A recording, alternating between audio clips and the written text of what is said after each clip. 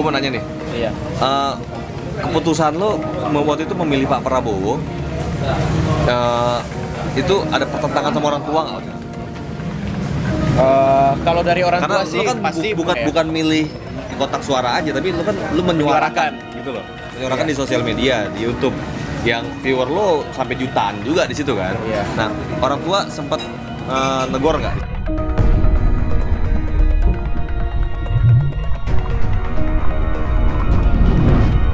Ya, assalamualaikum warahmatullahi wabarakatuh. Balik lagi bersama gue Vasco Ruseimi uh, di channel Macan Idealis.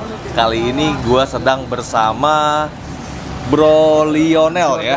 Bro Lionel. Kita collab bareng dengan Bro Lionel. Leon channel lo apa bro namanya? Lionel Lionel Enterprise ya. Nah, Iya. ini ada hal yang menarik nih guys. Teman-teman semua, kalian udah pada kenal belum sama beliau nih? Gue rasa uh, para subscriber Macan Idealis juga gue rasa udah pada kenal sama, sama Lionel ini Harusnya, karena harusnya. karena memang eh, akun-akun YouTube yang yang ya terlihat seperti eh, pro kepada 02 ya salah satunya Lionel ini. Nah, Betul. kenapa gue gue tertarik eh, collab dengan Lionel? Karena yang pertama ternyata doi ini men dia ini masih umurnya 19 tahun. 19 tahun. Dan yang paling menarik adalah dia ini nah ini matanya nih lo lihat Cina, tapi mendukung Pak Prabowo gitu loh. Ini menarik buat gua karena karena apa ya? Eh, di situ kan kita bisa membuktikan. Jadi bukan ras lah yang yang yang yang yang dijadikan suatu yang eh, diskriminatif gitu loh. Seorang Liono yang keturunan dari eh Keturunan Cina. keturunan Cina. Ya. gue nggak enak ngomongnya itu. Santai aja. Santai aja ya. Santai aja. Santai aja ya. Belak-belakan kita di Nah, sini. Seorang Leono yang keturunan Cina, tapi malah justru membuat channel YouTube yang untuk mendukung Pak Prabowo. Bor, coba gini bro, gue gue pengen tahu dong ceritanya gimana ceritanya lu tiba-tiba bis, eh, bikin channel YouTube Leono Enterprise itu arahnya kenapa mendukung Pak Prabowo? Pertama pada dasarnya saya memang seorang pengagum Pak Prabowo sendiri. Ah, Nah, terus? eh, kemudian kemudian pada saat itu ini gue nge YouTube ini sekitar tiga bulan 4 bulan ya. Hmm. Pada saat itu gue Lu melihat udah berapa lama lo bikin channel itu? 4 bulan. 4 bulan ya? Enterprise itu 4 pada bulan saat itu ya? gue melihat eh, pendukung-pendukung khususnya pendukung Prabowo Sandi channel YouTube-nya itu masih terbilang Hmm. masih sedikit lah belum ada Iya. eh, market leadernya ya salah satunya Bro Vasco market leadernya pada saat Ah. itu nah kemudian saya eh, berkepikiran wah ini pada dasarnya saya sudah merupakan emang pendukung Prabowo Pak Prabowo Ah, Nah, saya kepikiran lah membuat channel YouTube Pak eh, pendukung Prabowo Sandi ya. Eh, tujuannya apa? Tentunya untuk mengabarkan eh, berita-berita karena kan kita tahu ya Hmm. eh, ada kabar-kabar tentang Prabowo Sandi itu emang jarang diberitakan Ya. Di media-media mainstream Di ya kan? media mainstream. Ah. Nah itulah kenapa saya memutuskan untuk membuat sebuah media. Ah, Nah sosial media. untuk mengabarkan berita-berita tentang Prabowo Sandi khususnya tentang Ah. Prabowo Sandi kepada ya pendukung Prabowo Sandi. Nah dengan analisa analisa, dari Analisa analisa pribadi lo di situ kan, Betul. Dari kumpulan semua referensi lo kumpulin itu ya, Jadi itu yang gue lihat ya.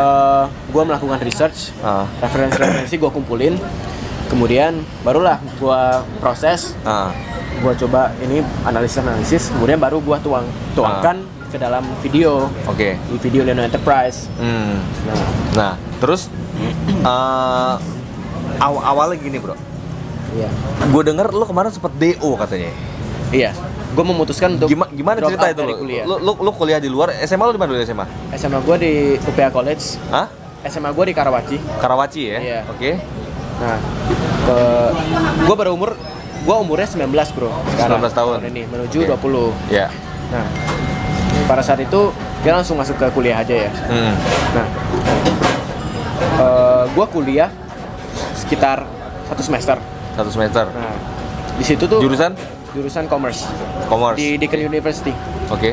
Nah, itu gue memutuskan untuk drop out dari kuliah berdasarkan dua pertimbangan. Hmm. Dua pertimbangan apa yang yang jadi dasar lo jadi DO gitu maksudnya? Gini Lo awalnya kalau DO? kita mau kuliah itu kan tentunya ada dua pertimbangan dasar. Oke. Pertama ijazah, Oke.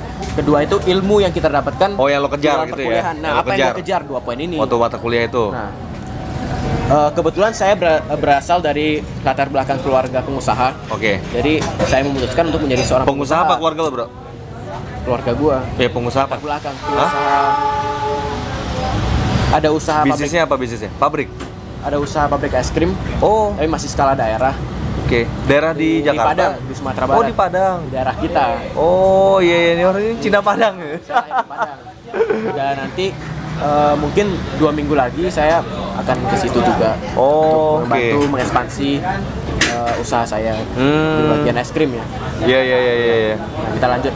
Nah lanjut lagi pas kuliah tadi. Nah akhirnya lu kan memutuskan buat kuliah nih karena dengan dua alasan itu. Alasan ijazah sama ilmu. Iya. Ilmu yang gua cari ini ilmu bisnis. Iya. Nah, ketika saya memutuskan eh, untuk ketika saya memutuskan untuk menjadi pengusaha, Hmm.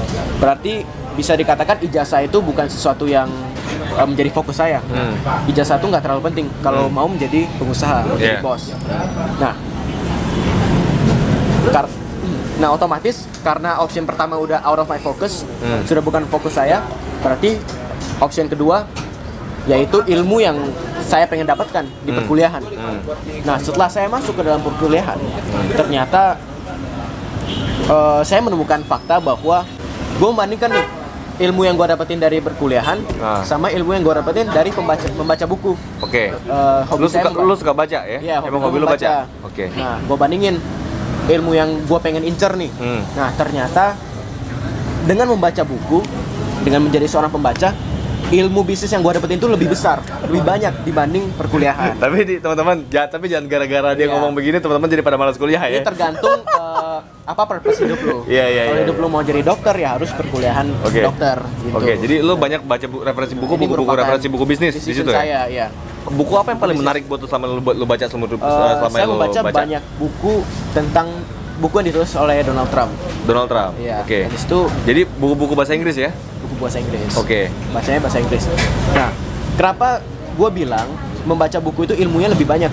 Ah. Yang gue dapetin ya, Iya. ilmu bisnis yang gue targetkan kan. Ah. Nah, karena buku-buku ini kan dikarang langsung oleh authornya, pengarang buku Hmm. eh, adalah seorang pebisnis yang udah sukses. Ya.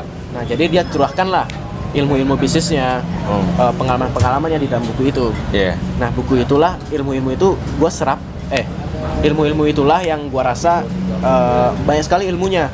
Contohnya bagaimana menjadi leader- leadership, Hmm. bagaimana skill leadership itu ditempa, Hmm. bagaimana menghandle karyawan, Iya. bagaimana eh, mengatasi masalah-masalah Iya. di dalam Dari pengalaman itu, seorang pengalaman seorang karena menurut gua Trump gitu ya. ya seorang Donald Trump karena Iya. menurut saya pengalaman itu di dunia bisnis itu cukup penting Iya. penting sekali Iya. Gue membaca buku Donald Trump Hmm. secara otomatis pemikiran Donald Trump Hmm. itu disampaikan melalui buku Hmm. kemudian gue baca Hmm. secara otomatis Donald Trump itu udah menjadi mentor saya istilahnya Iya. kalau gue membaca Secara tidak langsung, Trump. secara melalui secara nggak langsung ya Iya. Tadi dapat buku juga dari Bang Miftah katanya. ya? Oh, iya. Oh, dapat jadi mentor juga lo berarti. itu tuh Mana dari buku Bang Miftah tadi? Nah, ini ya. Ini, Bro.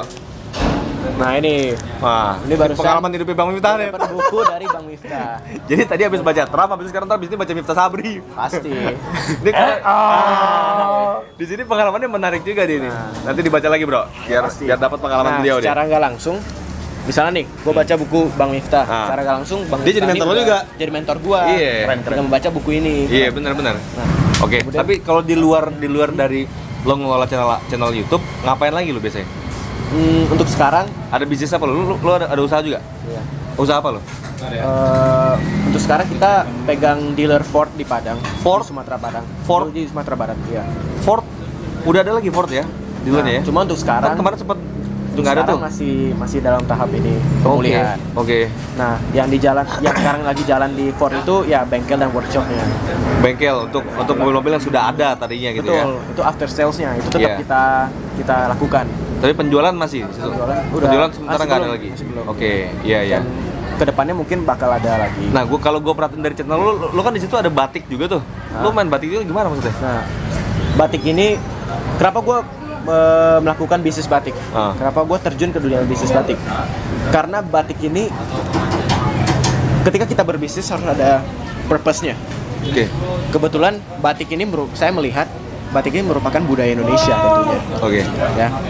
Nah, budaya Indonesia ini menurut gua perlu kita kembangkan lagi pengetahuan tentang batik. Hmm. Yang di mana isi intinya perlu kita lestarikan kembali Hmm. perlu perlu kita lestarikan terus budaya batik ini Hmm. nah itulah merupakan salah satu alasan kenapa saya memulai bisnis batik di Hmm. batik at Wiliono Batik Hmm. Ya. Jadi Leo apa tadi batiknya? Eh, Instagramnya Wiliono at Batik. Wiliono Batik Hah?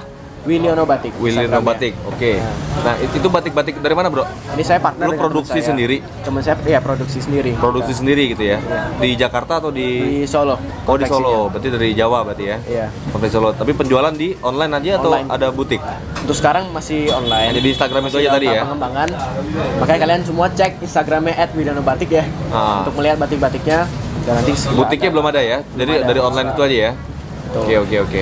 Nah, terus Tentunya gini, pasti ke depannya ada akan ada ekspansi Iya. untuk berkembang terus. Nah, gini, Bor, gue mau nanya nih. Iya. Eh, keputusan lo waktu itu memilih Pak Prabowo eh, itu ada pertentangan sama orang tua nggak?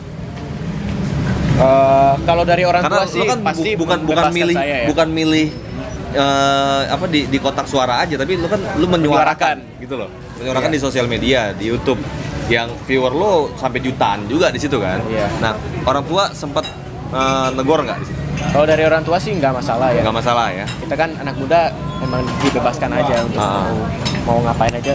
Walaupun orang tua lo sebenarnya juga bukan milih Pak Prabowo gitu ya. Eh, iya. Tapi lo punya prinsip beda nih ya di situ Iya. ya. Justru Iya, itulah iya, kita sebagai anak muda harus berjuang berpendirian dong kita. Oh gitu ya. Ketika kita memutuskan untuk memilih Pak Prabowo, Iya, ya, iya, iya. kita harus konsisten. Oh. Harus berani. Iya, iya, iya, iya. Nah terus apa lagi ya? Eh, apa hal yang menarik buat lo setelah selama lo bermain dalam sosial medianya mendukung Pak Prabowo ini? Kalau selama ini kan gue mengumpulkan sumber Ah. dari berita-berita yang di luar. Oke. Jadi gue analisis sejauh ini kalau yang saya dapetin, Hmm. eh, saya menjadi tahu banyak tentang Pak Prabowo. Misalnya awalnya emang saya merupakan Lo baca bukunya nggak? Paradoks. belum. Oh belum baca bukunya? Nanti kita kirimin. Nanti dikirimin. Justru itulah, Iya, kalau iya. Pasku bantuin. Iya nggak apa-apa ngaku aja kalau belum baca bor sini mah. Justru nanti itu belum baca tak kita kirimin. Nanti pasti akan. Oke terus A- a- apa tadi yang yang berkesan di situ? Eh, saya mengetahui bahwa Pak Prabowo ini merupakan seorang pembaca juga. Hmm. Ya. Oke. Nah, karena itulah kenapa saya ingin tekankan bahwa membaca buku itu sangat penting. Ah. Eh, apalagi untuk mengembangkan intelektual kita, wawasan kita. Ah. Terus eh, yang uniknya ini saya juga melihat di vlognya Bro Vasco Rusemi di Ah. Macan Dialis ada di situ Bro Daniel Ah. Anzar Simanjuntak juga mendirikan sebuah perpustakaan ya. Oke betul. Nah. Begawan Kupi, Begawan Kupi. Begawan Kupi. Begawan Kupi di Betul. situ ada perpustakaannya. Nah, di situ menurut saya emang visi misi tujuannya mulia sekali sih. Ya ya ya. ya. Mengembangkan, mendorong anak muda Ya. Indonesia untuk membaca. Karena budaya membaca itu perlu dilestarikan. Ah. Karena saya melihat anak-anak muda zaman sekarang sangat sedikit sih yang membaca. Malas baca gitu Malas ya. baca, betul. Eh, maunya praktis aja nonton YouTube gitu ya. Iya. Dan lu memfasilitasi itu dong. Nah, kalau dari hasil bacaan lu semua. Betul. Nah, itulah itu juga merupakan salah satu ini Iya iya. tujuan juga. Iya iya. iya. Kalau Anda semua malas baca, ya saya yang baca. Saya kabarkan ke kalian gitu. Iya. Dengan membaca ini kita bisa tahu bahwa kita menjadi sadar bahwa pengetahuan itu ternyata nggak ada batasannya. Hmm. Karena maka dari itulah kita harus mengembangkan budaya belajar. Hmm. Dalam arti kita belajar tuh nggak pernah selesai. Hmm. Dari muda sampai tua, Hmm. Nah, kan dari Bro Vasco, Bung Miftah terus belajar kan sampai Hmm. sekarang. Dan saya percaya bahwa masing-masing pribadi ini memiliki spesialisasi. Hmm. Ketika saya memutuskan saya mau menjadi pengusaha, berarti spesialisasi saya di pengusaha. Hmm. Nah, Di bisnis ya. spesialisasi katakanlah role modelnya Bang Sandi Oke. Oh Bang Sandi role model. di Indonesia. Oh, Oke. Karena- ya, Oh makanya itu juga jadi salah satu faktor lo juga dukung betul. dia gitu ya. Prabowo Sandi, perfect Oke. match gitu. Dari faktor kepemimpinan terus dari faktor bisnismennya Bang Sandi gitu ya. Nah, betul. Oke. Kemudian misalkan Bro Vasco tentu saja lebih berpengalaman jauh Hmm. di dunia politiknya dibanding saya. Ya karena umur lebih tua aja kali main. Salah satu faktor. nah, tentu saja berarti saya juga harus belajar dengan Bro Vasco dong. Gue Tentang umur politik. gua umur 19 tahun belum bisa kenal dengan jubirnya Pilpres, belum bisa kenal. Dia udah kenal sama jubir Pilpres nih, dua orang nih. Hebat ya. Iya kan? Hebat. 19 tahun gue belum kenal sama jubir Pilpres. Iya. jubil jubirnya uh, pilpres belum belum bisa kenal. Lu udah kenal? Udah. Ya kan? Vasco Lebih lu berarti. Iya. Iya. iya, iya. Eh, Jadi ngebaca membaca itu ya yang yang lo yang lo paling paling lo senengin ya. Iya. Olahraga jarang lo. Gym. Nge-gym masih ya. Nggak olahraga monoton lah ya, gym Iya, gitu ya. itu menjaga supaya tetap fit aja sih. Iya. Pacar udah ada pacar? Lagi break sekarang. Oh lagi break. iya. Oh, apa gara-gara pilihan gara-gara pilihan pilpres kemarin nggak? Ya bisa jadi. Bisa jadi. Oh, iya. milih Jokowi. Iya. Boleh gitu. sekarang lagi break. Jangan gitu dong. Gini kita Oke. harus Ah. berbeda pilihan politik. Ah, lu Jangan muka lu mana? Lu ngomong nih muka lu mana? Pilihan politik. Ah. Jangan sampai asmara diputus. Nah. Nah, kita di situ kita harus menghormati perbedaan. Betul. Justru cintanya dihadirkan dengan cara itu. Nah. Justru dengan ada perbedaan bisa nggak kita tetap bersama? Kalau nggak berarti nggak tulus, nggak murni, ya kan? Atau jangan ada laki lain kali dia nggak? Atau lo ada cewek lain? Yakin ada laki lain. oh gitu ya? Atau lo ada cewek lain kali jangan? Nah, alasan alasan doang itu pilpres sama dia dijadiin alasan ya kan? Iya. Oke Bor, gitu aja Bor. Oke teman-teman semua. Ah, gue mau ikutin sekali ka- kali ini gue mau ngikutin gayanya si gayanya dia nih. Iya. Teman-teman semua, gue mau survei. Gimana Nah, akan kalau membuat survei. Ah, coba bro, gimana bro? Kalau di Macan Idealis bro, Oh. apa kita survei kan? Kita akan melakukan survei Hmm. yaitu berapa banyak likes yang bisa kita kumpulkan dari Anda yang masih setia mendukung Prabowo Sandi. Apakah 1000, Nah, 10.000 atau bahkan 100.000? ya. Anda yang masih setia mendukung Prabowo Sandi, Anda yang buktikan. Like channelnya, jangan lupa subscribe juga. Klik tombol loncengnya biar kalian semua terus dapat dapetin semua update-update video-video terbaru dari channel ini. Macan Idealis. Klik loncengnya dan share ya. Ya, Share tentu saja itu sebanyak-banyaknya. harus, itu wajib. Wajib. Oke, Dan- tulis komentar di bawah ini tentang doi beliau nih. Nah. Masih juga masih single. Agamanya be Buddha ya, agama Buddha. Nah, bagi teman-teman yang bisa beragama Buddha, bisa kontak langsung ke Instagram lo, Bro. Instagram lo, Kalau Bro. Instagram gue @joranleono. Di DM-in boleh terus di DM-in sama sama- Boleh, welcome. Gitu ya. Iya. iya, iya. Welcome. Yaudah. Oke guys, Assalamualaikum. Apa lagi? Dar. Oke. Ya, teman-teman semua, jangan lupa subscribe Subscribe. juga channelnya Di channel Leono Enterprise. Leo, Nanti Leono tampilin di bawah nih. Enterprise. Nah, Tampilin di bawah. ada di bawah di deskripsi nih, gue taruh di, taruh di deskripsi. Kalau anda semua, klik aja. kalau anda semua setuju ataupun senang dengan kita berkolaborasi, Nah, tuliskan komentar di bawah apa kolaborasi selanjutnya yang akan kita kita lakukan. boleh juga. Iya. Oke guys. Oke, assalamualaikum Oke, bro. warahmatullahi wabarakatuh. Siap. Thank you bro. Thank you.